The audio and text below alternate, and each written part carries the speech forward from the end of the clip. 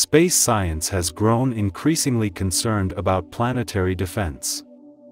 That's an area of research, technology and innovation aimed at defending our planet against threats such as asteroids.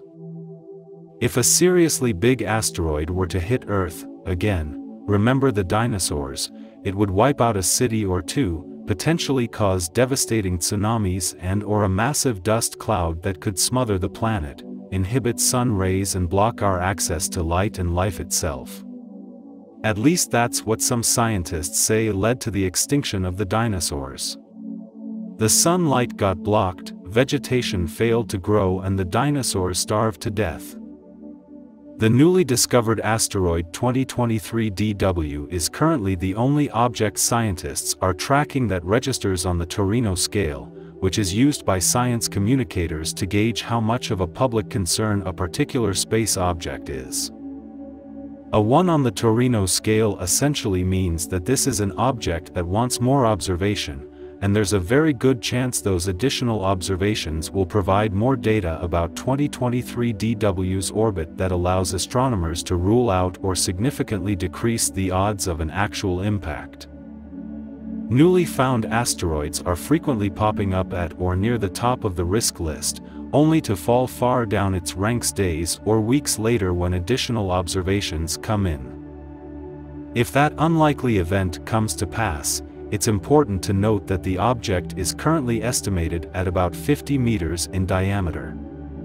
That's comparable to the two most powerful asteroid impacts of modern times, both took place over Russia in 1908 and 2013 and did significant but largely superficial damage.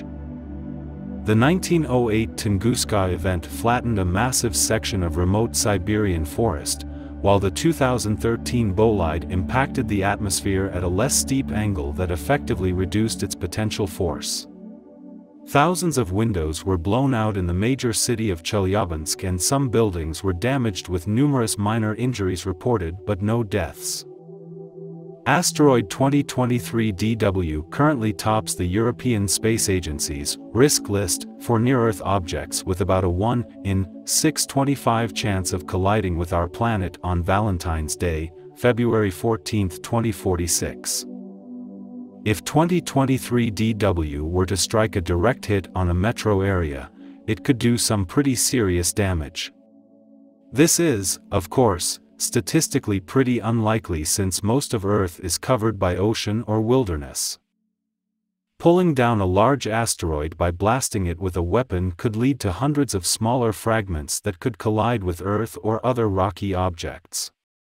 To avoid this, alternate strategies include using gravitational force to pull the asteroid out of its orbit.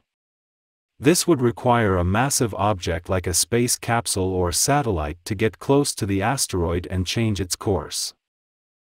Also planetary defense technology, such as NASA's DART mission, aims to track asteroids and, if they ever become a direct threat to life on Earth, to nudge them into a different orbit. The problem is that scientists have yet to detect every asteroid out there.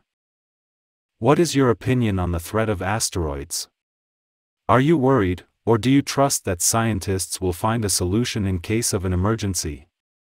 Please share your thoughts on this topic in the comments below, and keep watching for more. We'll be back soon with more updates on Space Bytes.